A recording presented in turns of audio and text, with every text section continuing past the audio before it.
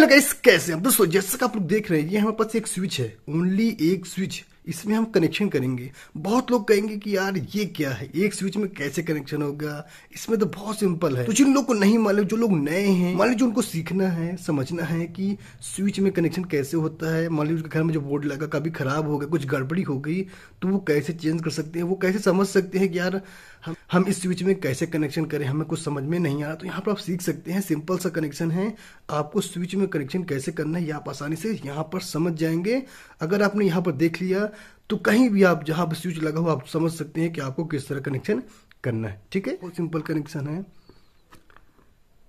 तो आप देख सकते हैं, एक स्विच में दो पॉइंट होते हैं। ये सिंगल वे स्विच है। आपने कभी सर्च किया होगा single way switch two way switch तो ये सिंगल वे स्विच है जो नॉर्मली हम स्विच में यूज़ करते हैं। अगर आपने सीढ़ी का कनेक्शन नहीं देखा या फिर सीढ़ी कनेक्शन आपने देखा है, कहीं पर लगा हुआ है, नीचे से हम ऑन करते हैं बल्ब जल जाता है, ऊपर जब जाते हैं तो वहाँ से ऑफ़ करते हैं बल्ब बंद हो जाता है। तो वहाँ पर जो स्विच लगी होती है, वो टू वे स्विच होता है और टू वे स्विच की पहचान होती है, यहाँ पर तीन पिन होंगे और यहाँ पर एक लाइन खींची होगी। यहाँ पर कुछ न कुछ बना होगा जिससे आप समझ सकते हैं ऊपर से ही कि ये टू वे स्विच है। जिसमें कुछ भी नहीं बना जो सादा है, आप समझ सकते हैं ये सिंगल वे स्विच है। ठीक है? जो नॉर्मली हमारे घरों में स्विच लगा होता है। अब हम कनेक्शन करते हैं। तो हमारे पास एक ही वायर है। ये रेड वायर है, यानी कि फ़ेज़ वायर है। तो जब भी हम स्विच में कनेक्शन करते हैं फ़ेज़ वायर का कनेक्शन करते हैं। ठीक है? इसी को हम कट करके लगाते हैं। ठीक है? समझने के लिए आप देख सकते हैं, ये हमारे पास बल्ब होल्डर है। यहाँ पर दो वायर लगी हैं। ठीक है? तो हमें इसमें मान लीजिए स्विच लगाना है। ठीक है? इस स्विच से इसे ऑन ऑफ़ करना है। तो इसकी जो एक वायर है, यानी कि जो फ़ेज़ वायर है, इसको बीच में हमें यहाँ पर लगा देना है। तो इसका एक पॉइंट हमें यहाँ पर लगा देना है। दूसरा पॉइंट यहीं से हमें निकाल लेना है और उसे हम लाइट में लगाएँगे इसके साथ। यानी कि अगर ये लंबी वायर होती तो यहाँ से हम कट कर देते कट करके एक पॉइंट यहाँ पर लगाते, एक पॉइंट यहाँ पर लगाते। तो ये बाहर निकल जाती, है ना? और इसको हम लगा देते अपने लाइट बोर्ड में। यहाँ से कट है। यानी कि स्विच लगा हुआ है तो जब स्विच को ऑन करेंगे तो दोनों जुट जाती हैं तो यहाँ पर सप्लाई चली जाती है। और जब हम स्विच को ऑफ़ कर देते हैं, यानी कट कर देते हैं, बीच पर से ये कट जाता है तो बल्ब हमारा नहीं जलता, यहाँ पर सप्लाई नहीं जाती। ठीक है, आप समझ गए होंगे? तो इसका हम कनेक्शन करते हैं। हमने इसको कट कर दिया है।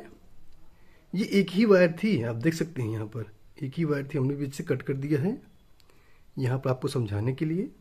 एक पॉइंट हमने नीचे लगा दिया है तो हमने दूसरा पॉइंट भी यहाँ पर लगा दिया, इसको हम निकालते हैं बाहर। तो दोस्तों, आप देख सकते हैं हमने वायर को निकाल दी है।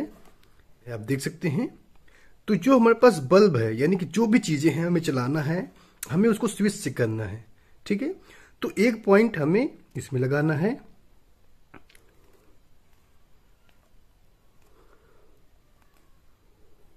दूसरा पॉइंट हमें लाइट में लगाना है, यानी कि ऐसे। ठीक है, एक पॉइंट हमने इसमें लगा दिया। तो ये अब क्या हो गया है? वह कि जो बल्ब था, इसकी जो वायर थी, यहाँ से आकर कनेक्ट हुई इसमें से, और एक पॉइंट में लगी हुई, और दूसरा पॉइंट में ये वायर लगी है, ये।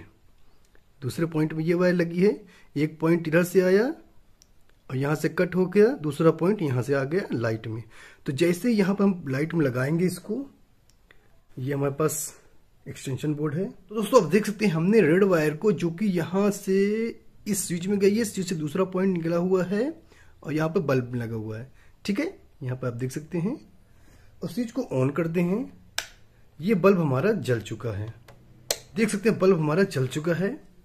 इसे हम बंद करते हैं। हमने जैसे ही बंद किया, आप देख सकते हैं सप्लाई कट गई। बल्ब हमारा बंद हो गया। जल गया। बंद हो गया। जल गया।